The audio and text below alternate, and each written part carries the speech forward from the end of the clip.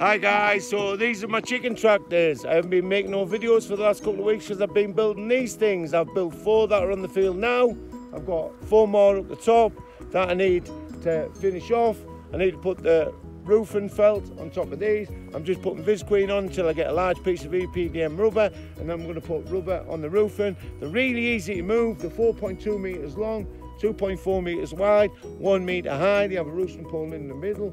They have a mesh floor in the actual coop area. So on a night time, the droppings just go straight through the floor when they're on the roosting pole. You have two nesting boxes in the coop also. You move them by lifting this pole and a piece of rope and it's simple just to lift them a couple of inches off the ground and they move so easily.